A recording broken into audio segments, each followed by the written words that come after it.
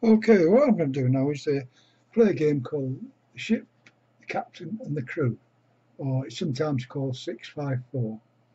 And what it is, uh, six, you play with five dice, and you've got to throw a six, which is the ship, and a five, which is the captain, and a four, which is the crew before you even start scoring. And then the cargo is whatever is remaining on the last dice. So you only score on the last two dice. So you must throw them first and then you score on the last two dice. And you've got you get three throws to do it in. And how you do that, I'll just move this out of the way. And how you do that, I'll show you.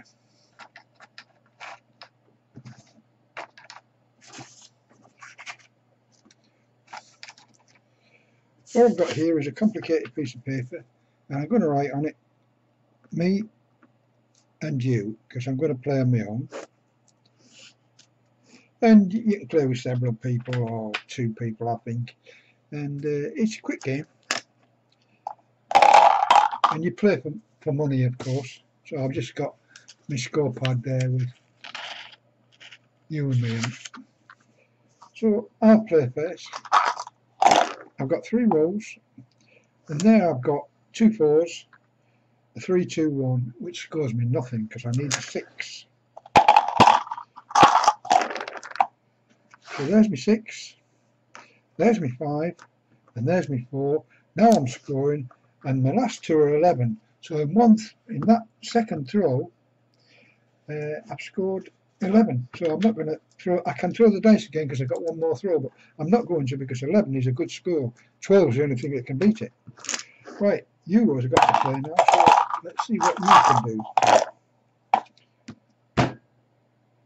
That's about true I'll throw that again. Well so I've got 6 5 4 there's a 6 5 and a 4 and he scores 6 now he's got two more throws left because he did that in one. So do you take a chance, score six, or take a chance and see if you can score less? Well, I'm just going to show you that these are the chances you can take. So I've got two more chances to throw. So there's another six I've got. I'll try it again. And there I've scored eight, which is better than the other score. So that's not too bad. That's what you do, you just go along and do that until you win. I'll just do another hand, see if I can get out. I've got six and a five. Two sixes and a three, they don't count. I need a four. There's a four. And I'm scoring with eight. And eight's not a bad figure, so I'm not going to throw again. I'm not going to take a chance. I'll do eight. So you has got his last throw, and we'll see what's happened. Six, five, four, and there's a six there. Will he take a chance?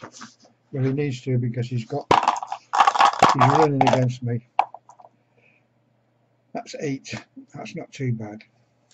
So I'll score on that. And what I've got is 16. And he's got 19 there. So you take the difference off and you score three. So he owes me three plus the ante. So that's it.